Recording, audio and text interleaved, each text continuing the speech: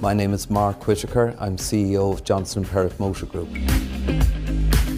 Being chosen as an EY Entrepreneur of the Year finalist is a fantastic recognition for everybody who works in Johnson & Perrott. It's, it's a team effort.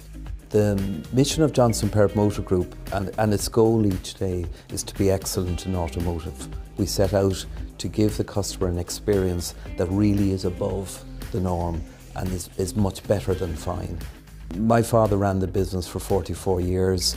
Uh, it was a very small business when we started when he started out that journey despite the fact even at that point it was in existence for about 150 years so the inspiration to me to come into the business to lead the business and hopefully pass it on in better shape than I got it is the legacy that he created uh, in his 44 years in the business for me the the the most valuable thing is when I'm faced with a situation, I think, well, what would my father have done in this situation? How did he, how did he resolve the same problems that I'm facing today?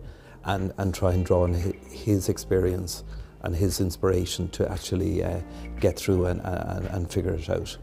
If I could describe Johnson & Perrott in three words, I think the three words that would come to mind would be honest, hardworking, caring. I find life is full of surreal moments and you find yourself, as we are today, doing a video for a, a fantastic award scheme thinking, my gosh, how did I get here? You know, we have a long established business which I've been very fortunate to lead for the last 19 years. Uh, and it's wonderful to be part of, of this award scheme and to get to meet some of the other finalists and some of the alumni uh, whose friendship I hope to develop over the next couple of years.